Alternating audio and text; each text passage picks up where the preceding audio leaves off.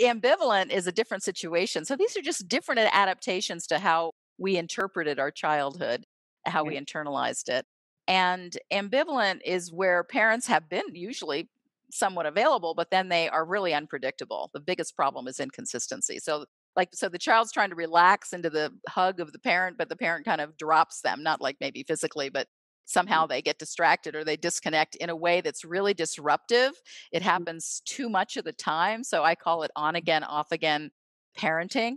And yeah. it causes a lot, as you can imagine. It unpredictably causes us to go into high anxiety states and we start to feel um, i mean in psychological terms it would be called intermittent reward and you were asking me uh, when we talked on the phone a little bit about addiction mm. um, intermittent reward makes you uh, obsess on the person that's being intermittent or the situation that's being intermittent like like oh. gambling works because it's intermittent right like it's not like mm-hmm. you're going to mm-hmm. win every third time there's no predictability and so people get hooked i'm like oh okay i'm going to do it again in another quarter or another five dollars or another hundred dollars or whatever you know and it, because of the intermittent reward it, it kind of creates this you know mm-hmm. obsession mm-hmm. and that happens happens relationally in ambivalent attachment so a child that has parent in and out this has gotten a little challenging because a lot of us can't survive economically without having two parent families. When I back in the 50s, mm. when I was growing up, I'm old. Mm.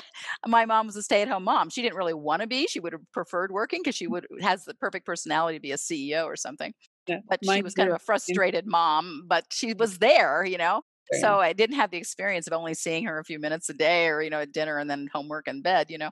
Um, so this intermittent reward thing's a little trickier. So you have to make sure you got some quality time with limited time, and it's challenging. I'm not saying this is easy, but uh, what happens with on again, off again parenting is a child can react to that. You don't may not react in all these ways, but these are I'm just going to give you a sweeping view mm-hmm. um, of being really clingy and needy and and and trying to keep engaging the parent when the parent really can't be engaged uh, because maybe they're working or something. Um, so it can bring in this clinginess. And as therapists, we need to get comfortable with clinginess and, and understand that that's a signal cry that can't get turned off. So unlike avoidant who shuts their attachment system down, the ambivalently attached adapted person um, amps their attachment system up. So they're like attachment mm. on steroids. And the problem is with that, it, they're very relationally oriented, though. You definitely know they want to be in a relationship with you. And if they're avoidant, you're not sure, you know. But, but with ambivalent, they're like really wanting a lot from you, usually. And that demand, that clinginess and constant demand can sometimes push away the people they love the most. So that's mm-hmm. tricky. That's painful and, and really shouldn't happen because there's ways we can work with that in, in re, relationally that where they can balance out and they can. It's easier to calm an overactivated attachment system than it is to lift the brakes on an attachment system, actually, for most therapists and for most people. Welcome to the 2021 Radical Recovery Summit presented by the Kiloby Center for Recovery. This is Lynn Fraser, your moderator. This year, our theme is Feel It, Heal It a new paradigm of recovery, featuring a diverse group of thought leaders and innovators, people who are working on the ground in the new field of addiction recovery.